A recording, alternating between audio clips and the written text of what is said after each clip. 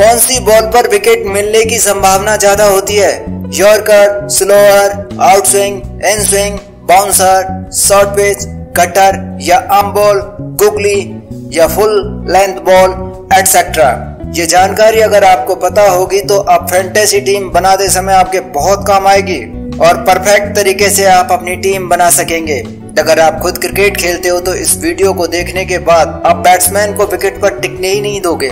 आप वीडियो को पूरा देखते हो, पर सब्सक्राइब नहीं करते। कर दो भाई, मेरे सब्सक्राइब कर दो। ये मेरी रिक्वेस्ट है आपसे। सबसे पहले हम बात करते हैं यॉर्कर बॉल के बारे में।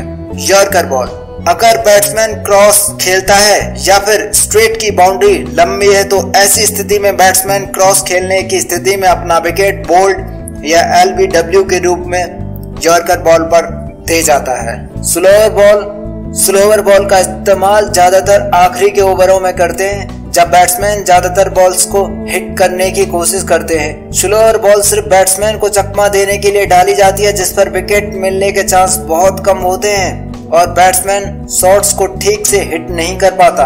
अगली बॉल की बात करें तो वह शॉर्ट पिच बॉल है।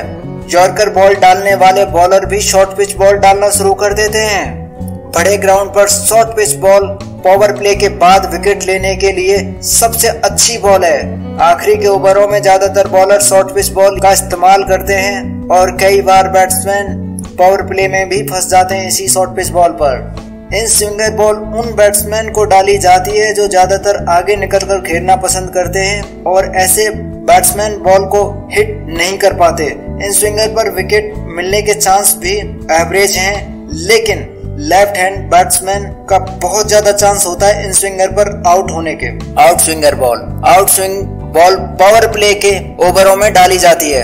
Out swing ball power play के ओवरों में यूज़ की जाती है। आउट स्विंग बॉल पर बोल्ड या एलबीडब्ल्यू होने के चांस बहुत दूर दूर तक नहीं होते। आउट स्विंग पर सिर्फ़ बैट्समैन स्लिप या विकेट कीपर को अपना कैच दे बैठता है, पर अच्छे बल्लेबाज आउट स्विंगर पर कम ही आउट होते हैं। आउट स्विंग लेफ़्ट हैंडर के लिए बहुत ही अच्छी बॉल है, क्योंकि ज़्यादातर लेफ़्ट हैंडर लेग लपेटू, यानी कि क्रॉस खेलने वाले होते हैं। इसलिए उनको आउटस्विंग बॉल डाली जाए तो उनके विकेट मिलने के चांस बहुत ज़्यादा होते हैं। बाउंसर। बाउंसर बॉल का इस्तेमाल केवल डॉट बॉल डालने के लिए किया जाता है। लेग स्पिन या ऑफ़ स्पिन ये लेग स्पिन या ऑफ़ स्पिन बॉल बैट्समैन को स्टंप आउट कराने के लिए बहुत अच्छी बॉल है। बैट्समैन आगे निकलकर खेलना पसंद करते हैं। उनको लेग और ऑफ़ स्पिन बॉल डालकर उनका विकेट लिया जा सकता है। ऐसी स्थिति में बैट्समैन दो या तीन चौके या छक्के भी मार सकता है। लेग या ऑफ़ स्पिन बॉल पर, क्योंकि उन बॉलों को हिट करना भी बहुत आसान होता है। विकेट टू विकेट वाली ball wicket to wicket ball सबसे अच्छी बॉल है, क्योंकि विकेट टू विकेट बॉल पर बैट्समैन को छह तरीके से आउट करने के चांस हैं। जी हाँ विकेट टू विकेट वाली बॉल पर बैट्समैन को छह तरीके से आउट करने के चांस हैं, लेकिन विकेट टू विकेट वाली बॉल में बॉलर को चाहिए कि वह हर बॉल पर चतुराई दिखाए।